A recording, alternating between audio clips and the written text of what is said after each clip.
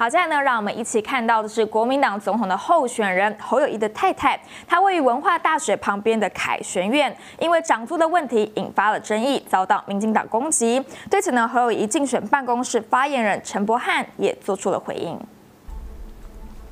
针对民进党称大群馆变成凯旋院后租金年年调涨，陈柏翰再说明，凯旋院自二零一九年由新售公司租下代管后，租金未曾调涨，历年的租金从凯旋院的。脸书粉砖都可以查得到，而契约的委托人自二零一九年所租予新售公司的租金也完全没有调涨过。对于民进党未经求证就任意造谣，用来作为政治攻击的恶劣行为，极为不耻，这更是对台湾的民主竞争环境造成严重的伤害。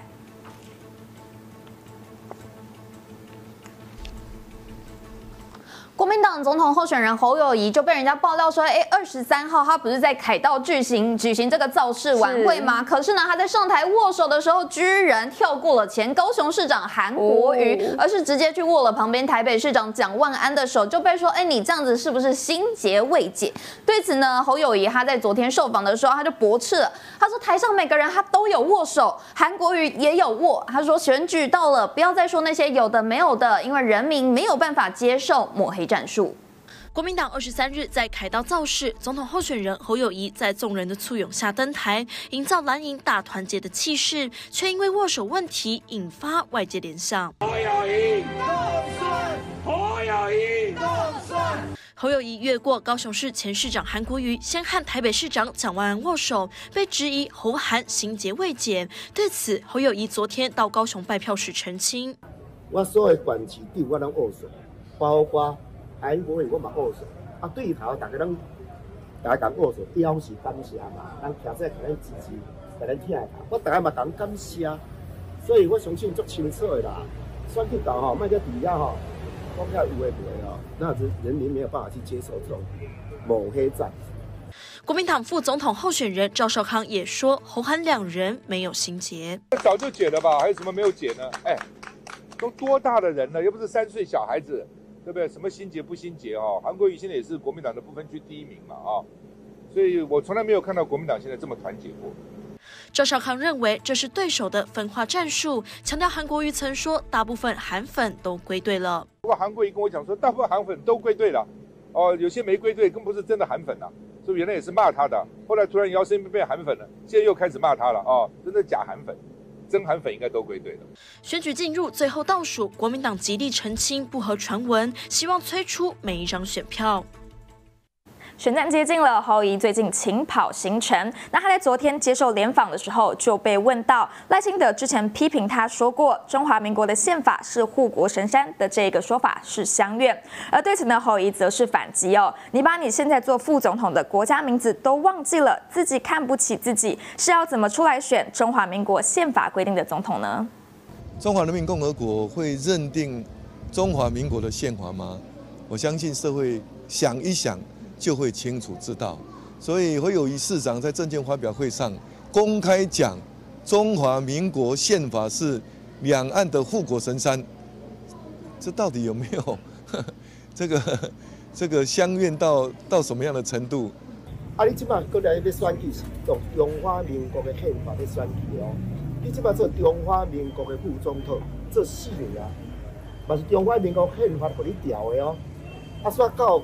你选举啊！伊讲啊，中华民国是神话，啊，你鄙视咱个个国家，咱是台湾人，但是咱的国号叫做中华民国啊。中华民国是咱的国家，台湾是咱的厝啊。咱只是厝咧徛家，啊，你还袂记你国家叫做中华民国嘛？啊，你今麦讲半波，啊，你甲，你就来做副总统的国家的名，煞甲放袂记啊？啊，你家己看袂起家己啊？啊，你是要安怎出来参加？中华民国宪法规定的总统每次大选将近，有这个废死的议题也会被再度拿出来讨论。那国民党副总统候选人赵少康，他昨天呢就针对这个废死议题，他就说，如果要废死的话，你就要立法呀，否则法律规定有死刑的话，就要按照法律来执行，不然就是轻视法律，让法官跟检察官为难。所以呢，他就批评说，民进党如果真的有本事的话，你们就定个废除死刑的政策或者是法律好了。他说，你们既不敢定废死的政策，又不执行法。法律，这很不应该，根本就是藐视法律。我觉得，如果是你要废死，你就立法嘛。那你法律规定有死刑，你就按照法律来执行嘛。否则的话，你就是轻视法律嘛。哦，你就是双重标准嘛。你一方面法律可以有死刑，法官也判了，那你不执行，你是什么意思呢？对不对？那你叫检察官也很为难，叫法官也很为难嘛。哦，所以我觉得你真的有本事，你就定一个废死的政策，废死的法律，你又不敢，又怕这个大家不同意，然后呢，你有法律，你又不执行，啊，我觉得这很不应该了。这其实这是蔑这个藐视法律、蔑视法律。红海集团创办人郭台铭的联署书的贿选案，屏东地检署呢在昨天上午是前往了屏东县议长周典论的住处兼服务处来进行搜索，并且呢把周典论还有他的女儿周梦荣给带回询问。那检方在昨天晚上复讯之后呢，认为周典论涉嫌违反了总统副总统选举罢免法的联署行贿案，而这个犯罪嫌疑重大，有羁押的必要，因此讯后呢向屏东地院声押禁见，而法院在。在今天凌晨也裁定了周点论羁押禁见，而他的女儿周梦荣经过复讯之后，则是预支五十万元交保候传。郭台铭先前为了参加二零二四总统大选展开全国联署，而周点论当时表态支持，还传出替郭台铭宴请地方里长，不料事后却传出地方人士以每份两百元的价格收购联署书的事件。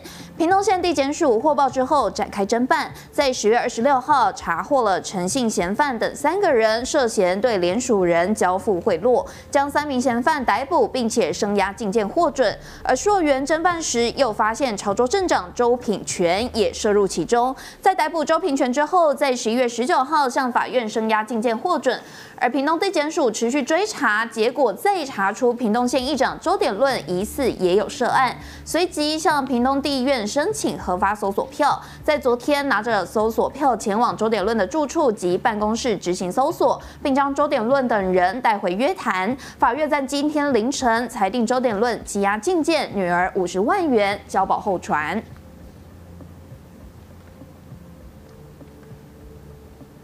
而面对周点论的风波，国民党副总统候选人赵少康今天表示，这是政治收押，有双重目的。赵少康表示：第一，郭台铭现在不是候选人；第二，就算联署过程有问题，那么急着在选前三周压人、压议长是很严重的事情。议长是地方选出来的，具有民意的基础，把他收押、禁止接见，这很严重。赵少康认为，检察官受到政治影响，这是政治收押，有两个目的。第一个目的是压制议长在屏东的浮选，这很奇怪。星期天晚上还受邀站台，周代东港有站台，怎么？礼拜一就收押了。星期天东港横村人非常的多，这是压制周点论在屏东浮选。第二，更重要的是威胁郭台铭。据说最后能够借到郭台铭的人就只有周点论。郭台铭的弟弟郭台强好像不在国内，不敢回来。而现在把周点论给压起来，是要警告郭台铭，给我小心一点，不要跳出来支持侯康。郭台铭的支持者、经济栏都会受到影响。检察官一石二鸟。检察官的动作令人质疑，收押禁见，选举这么近，非要在这个时候压人吗？不是很奇怪吗？九点论被压，郭台铭会怎么样？还敢出来挺我们吗？检察官这个动作真的不简单。